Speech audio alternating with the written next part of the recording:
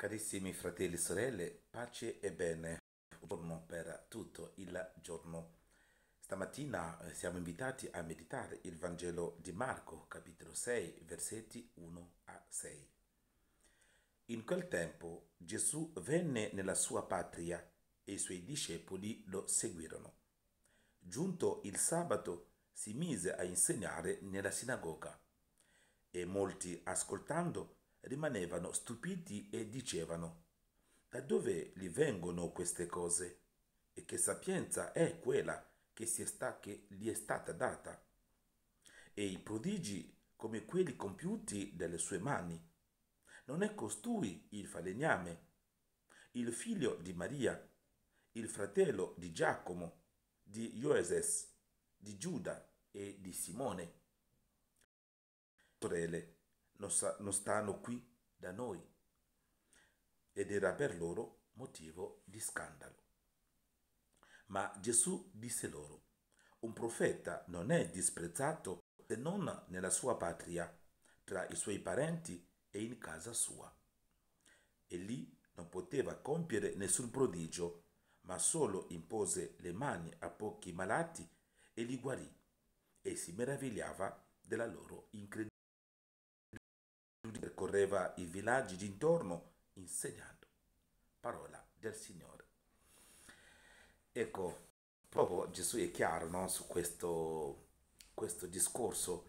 Il profeta è quanto a casa sua.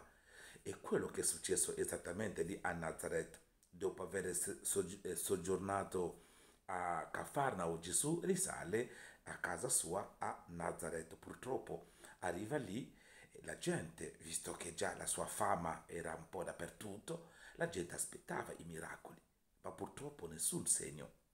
Infatti eh, i, i, suoi compaesani pensavano o volevano vedere un, un superuomo, eh, uno che viene a lottare contro i romani, cioè loro aspettavano una cosa del genere, ma in realtà Gesù viene per dimostrare che lui non entra in questo, questa considerazione umana,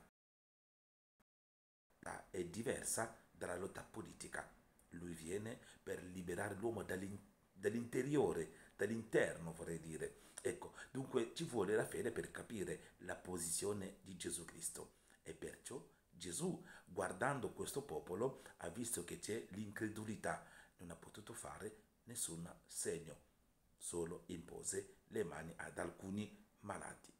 Ecco, carissimi, penso eh, siamo numerosi a considerare Gesù Cristo come un mago, come un superuomo, che corriamo verso di lui perché lui fa dei miracoli, perché lui fa quello. Tanti di noi eh, cominciano a pregare perché vogliono subito ricevere qualcosa da Gesù. Eh, iniziano un cammino perché pensano che Gesù con un bastone magico, con una mano realizzerà ogni cosa, ma non è così con Gesù Cristo. Eh, sarà deluso con Gesù solo la fede. Con la fede, relazione intima con Gesù, con la fede si ottiene qualsiasi cosa in nome di Gesù. Allora chiediamo allo Spirito di aumentare in noi la fede, di togliere la nostra incredulità in Gesù Cristo.